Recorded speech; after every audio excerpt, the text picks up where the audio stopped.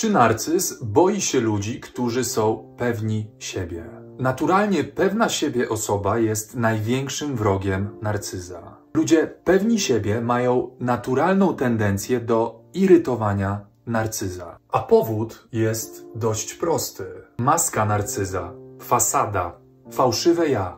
Wszystkie te rzeczy, które są wyczerpujące i pracochłonne w utrzymaniu, a co najwyżej chwiejne, narcyz widzi w drugiej osobie. Widzi, że druga osoba spoczywa w naturalnej pewności siebie z łatwością, podczas gdy narcyz musi poświęcić całe swoje kruche życie, całą swoją kruchą fasadę na to samo, knując, oszukując i manipulując. Więc to irytuje narcyza.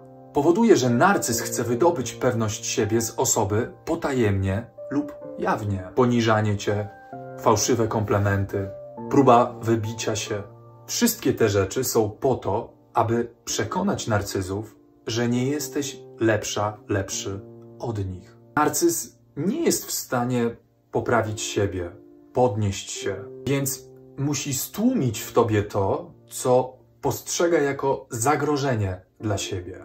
Teraz już wiesz, że uruchomiłaś narcyza, jednak zawsze możesz być krok do przodu, powodując, że pogrąży się on w stworzonym przez siebie iluzorycznym świecie.